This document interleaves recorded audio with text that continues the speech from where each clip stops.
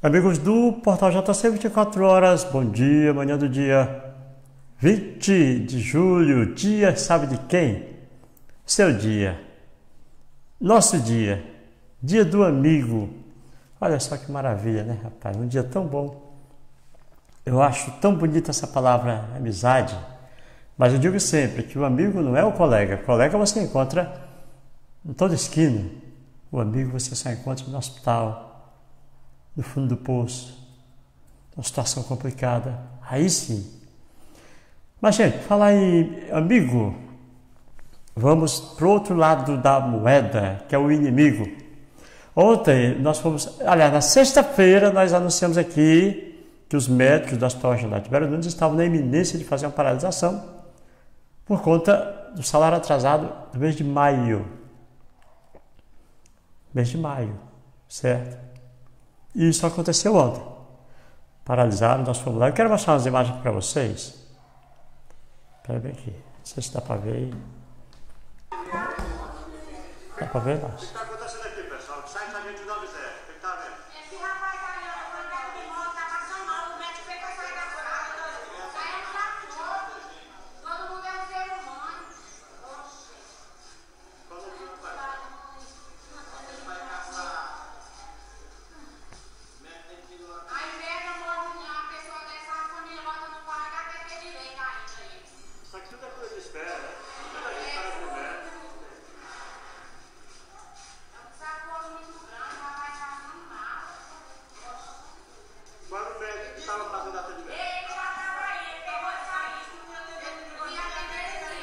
nossa. tirar aqui.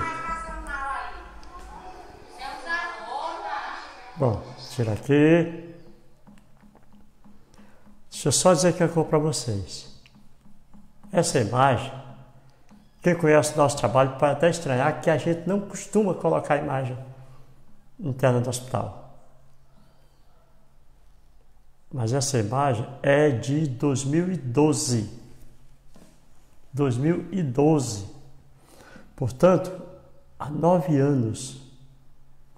O que eu quero dizer com isso é que há muito tempo essa gente vem sofrendo. Nossa gente vem sofrendo. E 2012, que tem arquivo do JC. Fora o período de rádio, que é só a voz, não tinha imagem, né?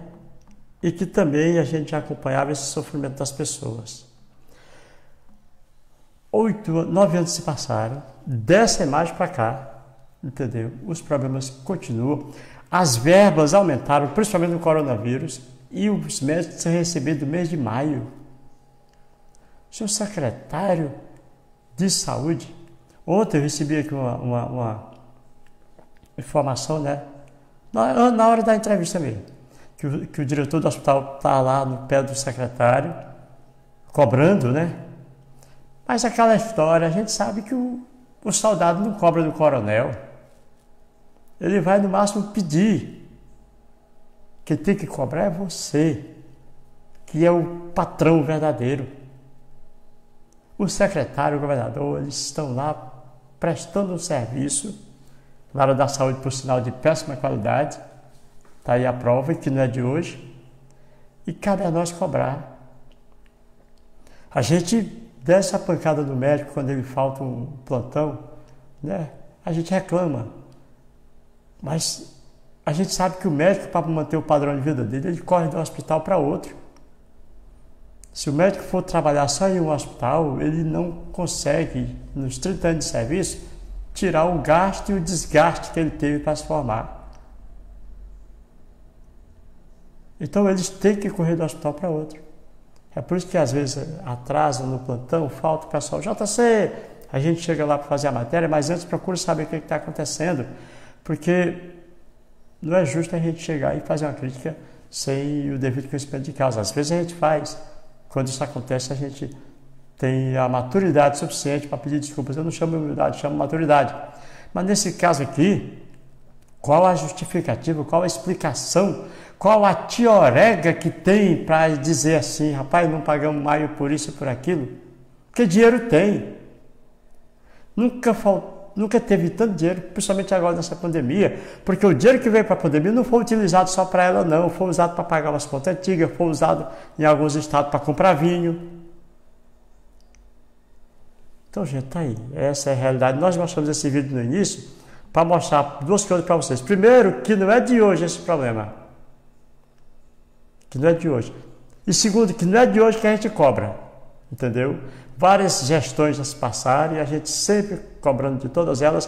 Claro, quando eu me refiro a gestão, eu não me refiro a diretor de hospital. O diretor ele é uma espécie de refém do sistema. Ele não tem dinheiro para pagar ninguém.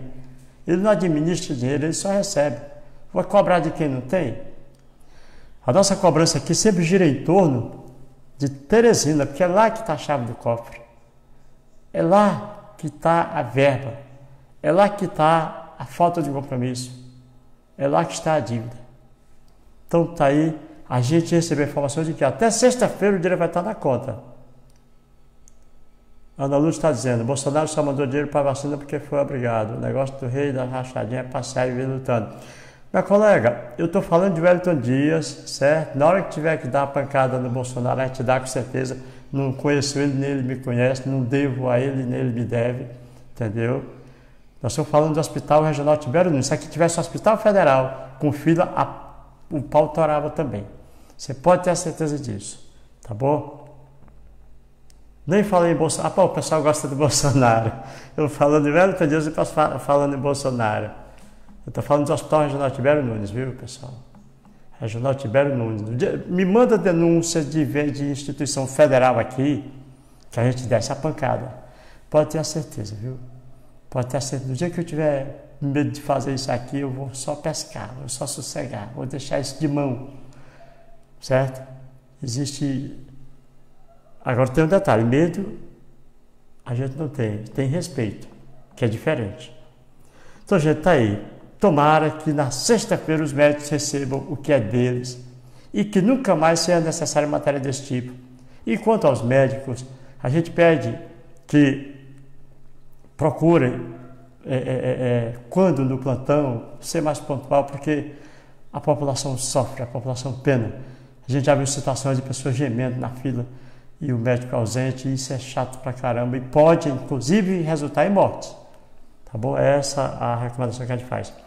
Luan Pimentel, meu amigo, rapaz, sempre colaborando com a gente, está dizendo aqui quantas pessoas trabalham sem receber. Lá em Brasília, o Fundão Eleitoral está tramitando no Congresso 6 bilhões, 6 bilhões, exatamente. Se, ontem, o, o colega disse, a culpa é do teu presidente, ele vai, vai, vai vetar. Pelo menos é o que está saindo no noticiário, que o presidente vai, vai vetar essa, esse fundão, viu? Se a culpa é dele, eu não sei, só sei que ele vai vetar. Né? E por falar em bilhões, deixa eu só dizer, ler aqui para vocês algo que eu recebi interessante. Vou só compartilhar rapidinho com vocês aqui. A gente fala em, em milhão e bilhão. Um milhão, um bilhão. Para você ter uma ideia da diferença, achei muito interessante isso aqui que meu amigo Antônio Neto me mandou. A diferença entre um milhão e um bilhão é enorme e muitas vezes não conseguimos ter essa dimensão. Por isso, colocá-los em segundos é uma boa forma de enxergar. Um milhão de segundos dá cerca de 11 dias. Um milhão de segundos dá 11 dias. Um bilhão de segundos dá 31 anos. Veja a enorme diferença. Agora imagine 6 bi. Para quê? Para esses. Eu vou, eu vou segurar minha língua aqui. Esses elementos se elegerem e depois fazer isso que estão fazendo, rapaz. Fazer isso que estão fazendo com a gente, deixando o povo na fila do hospital, deixando o médico trabalhando sem receber. Cadê o compromisso dessa gente? Cadê o compromisso desse povo? Aí ainda tem uma amiga aqui misturar a bola com, com politicando, porque se eu estou falando do hospital regional que é gerido pelo Estado, eu não tenho nada que falar aqui de negócio de Bolsonaro. As pessoas querem ligar o JC, a questão política, mas não liga não. Até hoje ninguém sabe em quem eu votei. O Tebício tem a preferência, mas ele fica na dele. O JC, na hora de fazer a crítica, faz em cima de quem for.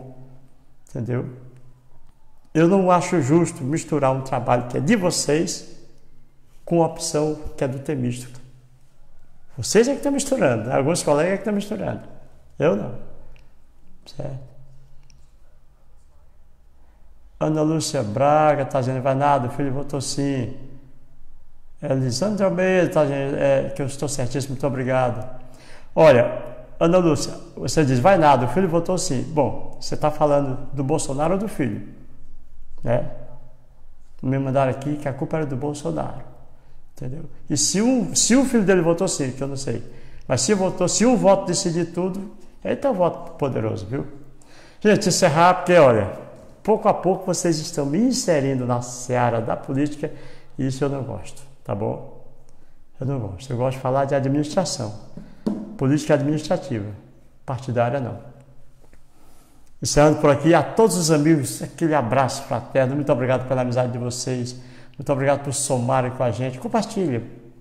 Nos leve a 100 mil amigos. É isso que nós estamos querendo. Já estamos com 86 mil. Pouco a pouco a gente chega lá, tá bom? Muito obrigado a cada um de vocês. Que Deus abençoe todos nós. Portal JC, 24 horas com você.